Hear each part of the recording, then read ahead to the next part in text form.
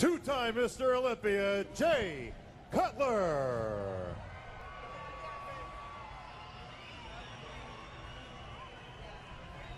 Well, with a new hairstyle and what looks to be a new physique, Jay Cutler takes the stage. He, of course, is from right here in Las Vegas, so he's got a lot of fans. And what you're looking at appears to be a a much improved version, Pep, of what we saw a year ago. Now, I don't want to rush to conclusions. We still have a lot more guys to see. But when Jay walked out last year, he was noticeably off. Um, Dexter Jackson took full advantage of that spread.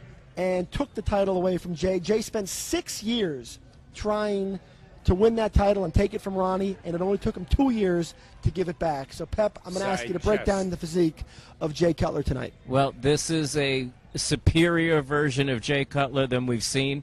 Um, one thing that impressed me right away when he hit his front double bicep, you know, Jay's taken a lot of criticism that his bicep. arms aren't in balance, his legs aren't in balance. They look very much in balance now, and look at his conditioning. Um, his glutes, his hamstrings, his lower back. He looks phenomenal. I, I would have to think that this is better than when he beat Ronnie Coleman in 2006. And look at the fullness. He's just kind of nailed it straight around. I mean, he it wow. I mean, Dexter, Phil, the rest of the top contenders definitely have their work set out for him. Jay Cutler has served notice that he wants a third Olympia, and it looks like he's done what he has to do to definitely be in the mix. And of course, as we've talked about time and time again, no one in the history of this contest has ever lost the contest, has lost the title, and come back and reclaimed the Sandow Trophy. And that's what Jay's trying to do tonight. And uh, you know, one of the real telltale signs when Jay turned around and we saw. You know, we saw the glutes, and I hate to emphasize the glutes, but it is what it is. Last year they were soft; they were noticeably off. This year, it's a whole different ballgame. Well, and look at him here, Dan. Like when he was just in that side tricep. I mean, look at the striations and. The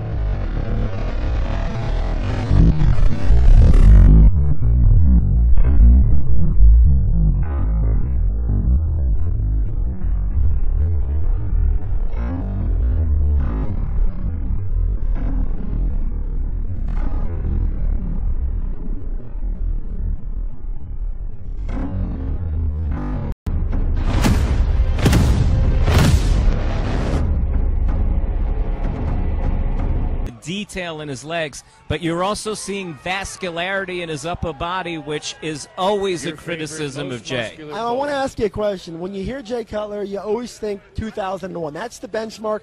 And, and Jay's tired of hearing it, to be honest with you. He's tired of hearing about 2001. He says that was a whole different time. He I want you to compare this Jay Cutler to the one we saw Olympia, back in 2001. And I think the capacity crowd here tonight likes what they're seeing. Yeah, I think they just answered the question. It's always hard to go back in time and try to say, well, how does he look versus that?